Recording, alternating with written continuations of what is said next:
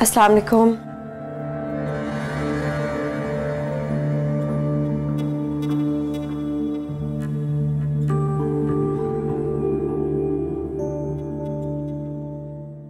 इसकी नौबत क्यों पेश आई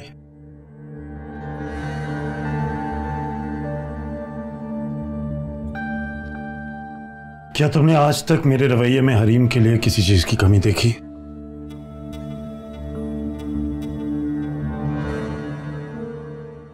ये बैंक अकाउंट तुमने खुलवा लिया।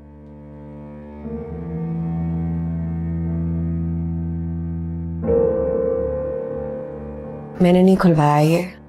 हमजा ने खुलवाया ज़बरदस्ती। ओ।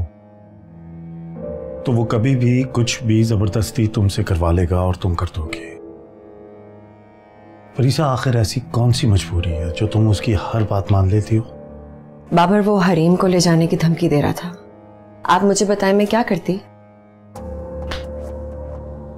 ठीक है। मान लिया कि वो तुम्हें धमका रहा था और तुमने उसकी बात मान ली। लेकिन क्या तुम्हें एक बार भी ये महसूस नहीं हुआ कि तुम्हें मुझे पूछना चाहिए या मुझे बताना चाहिए? मैं यकीनन इस बात की वजह मेरा डर होगा है ना? आखिर और कौन कौन सी बातें हैं जो तुमने मुझसे छुपाई हैं मेरे डर की वजह से? एक ही बार बता दो। मैं और कुछ भी क्यों छुपाऊँगी आपसे?